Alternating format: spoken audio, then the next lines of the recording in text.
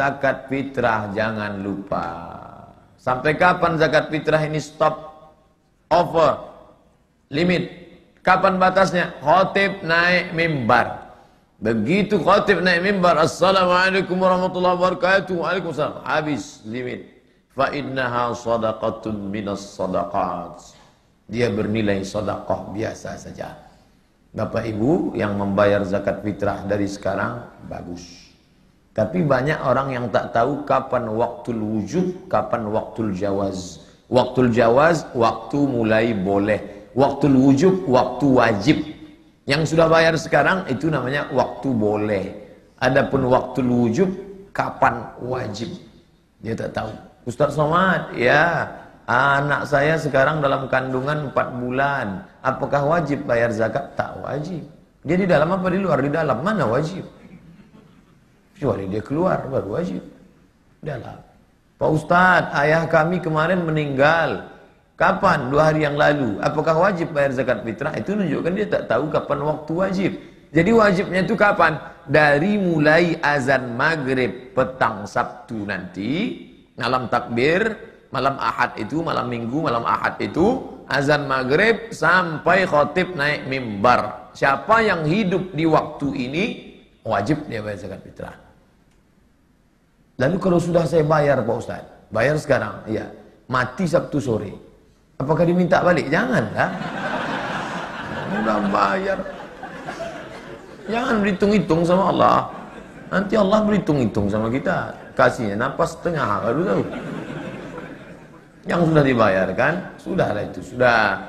Nah, jadi kalau ada orang meninggal habis asar, sore Sabtu, hari raya Ahad, habis asar meninggal dia, tak bayar, tak wajib bayar zakat fitrah. Jam 5 meninggal, tak wajib.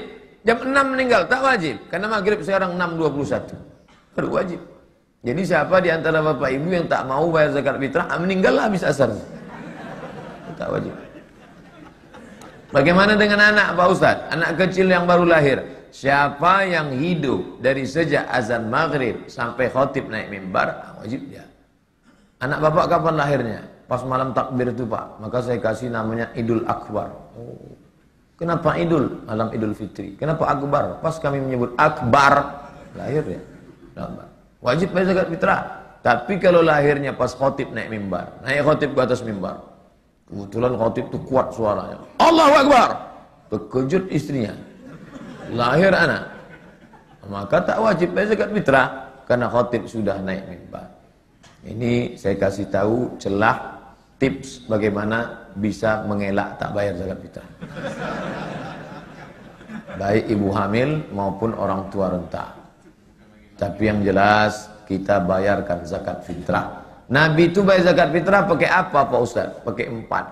Yang pertama tamrin, korma. Yang kedua qamhin, gandum. Yang ketiga zabib, kismis. Yang keempat akid, susu kambing yang dijemur kering, mentega. Tak ada Nabi pernah bayar pakai beras.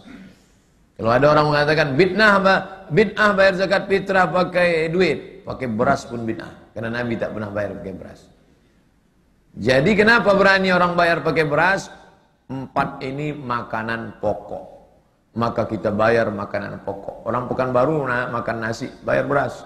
Kalau tinggal di Papua, bayar sagu. Kebetulan situ makan tiwul, bayar gaple. Gaplek tiwul bukan bala anam. Tiwul itu bahan mentahnya gaplek namanya. Ubi yang dijemur dibiarkan sampai berjamur. Oh, enak tenan nih mas. Itu. Nah, Ustadz Abdul Somad selama ini bayar pakai apa? Saya pribadi bayar pakai beras.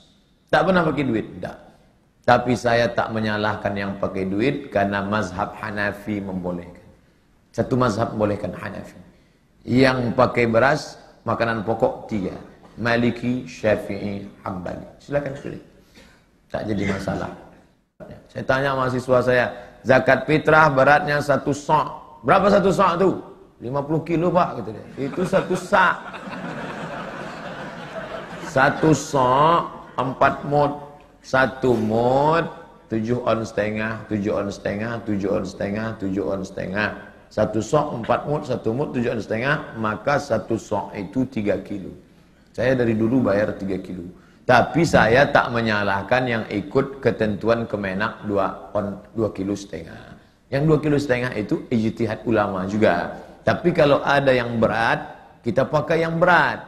Dalam beribadah begitu. Kalau ada doa panjang, pakai panjang.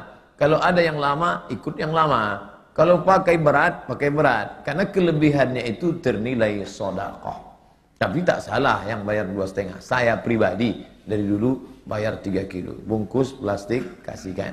Ini zakat fitrah saya, ini zakat fitrah anak saya, ini zakat fitrah siapa? Tetangga, ada ponakan kita di rumah, bayarkan. Terhitung sodako, sodako. Tak akan rugi orang bersodako. Satu butir berasnya itu diganti Allah, dijauhkan musibah. Makanya datuk nenek moyang kita gitu banyak-banyak bersodako, tulak balo, kata dia. Orang sekarang tak peduli, oh sedekah tak mau, pulit, kerekut, kikir, bakhil, medit, tak ampun. Oh gitu sakit habis. Oleh sebab itu maka ini berbagi kepada orang lain.